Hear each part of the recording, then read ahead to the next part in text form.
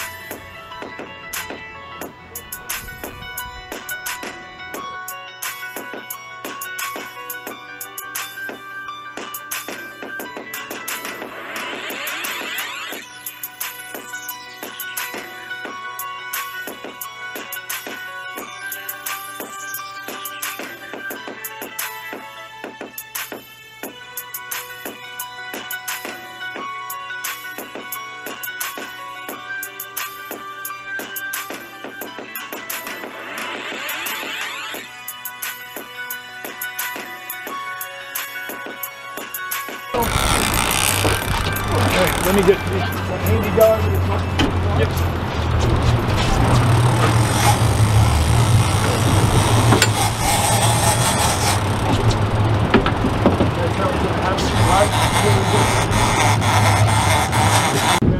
Beyond all the rest of the gear.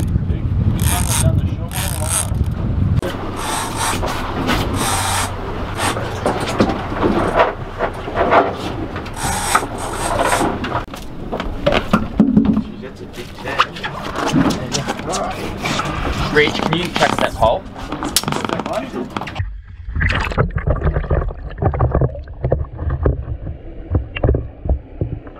Yeah, quick, I'll, I'll swing him in the door. Hold him by the tail as well. Get him in and uh, he makes a measure, we'll whack a sat tag in this fish. Bit of research, find out where they're, where they're from, where they're going. There we go. Job, Richie. Job, Richie. All right. Last one. Sat tag in. and I'll Hold his head there, Richard. Yep, just hold his head. Yes, I yep. Wet rag.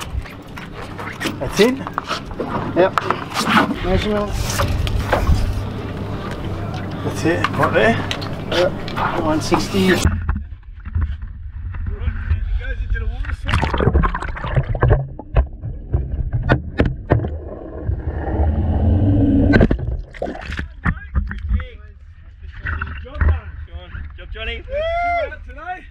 Nice work, Andy. So that was a good day, Richie. Thank you for that. We've got um, Yeah. two sat tags out.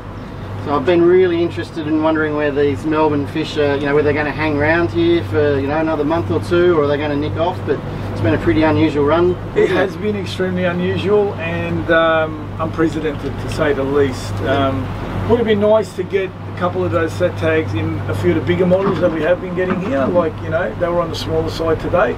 Um, but they have been consistent. We have been catching them consistently every day for the last month so far. So every one of my trips has produced a fish and I was quite quietly confident that we would do the job today.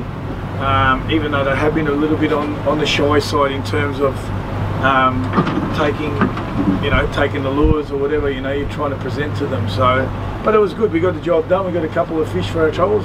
It's a good mix getting the top water stuff happening Yeah, as well. it's good. I yeah, really definitely. Watching them clean out of water, you know, chase the lures, and Andy getting the, Andy doing the job on the on the stick bait. Yeah. So no, it's definitely definitely good. You know, and look, we've, we've done a fair bit of it, and at different times over the last couple of weeks, have been more switched on to it. Yep. You know, and, and without sort of uh, a seasoned crew like Andrew and and the boys, um, we've still managed to get a, a couple of red hot bites and red hot stick bait action. You know, some of them haven't stuck, but it's definitely hitting them. Yep. So it depends what sort of mood, what they're feeding on at the time. Yep. Oh well, those tags are on for 270 days, so hopefully they'll stay Yeah, it'll be interesting to see. Yeah, and, um, be monitoring that closely now. yeah, we'll see where they go.